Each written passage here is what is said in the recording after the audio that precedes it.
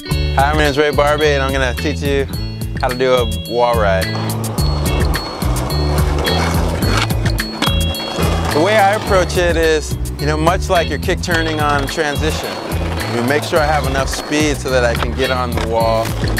You know, my front foot is over the bolt, but my back foot, I, I make sure I keep it on the tail because as I'm turning off, I want to be able to have that leverage to turn my board once I want to come back in. When I get to the wall, there's an initial pump to throw yourself onto the wall.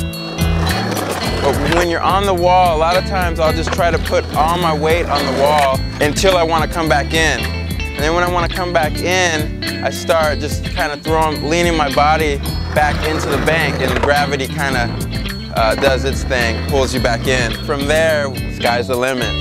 Have fun working on it. And again, it's easier than you would think. Take care.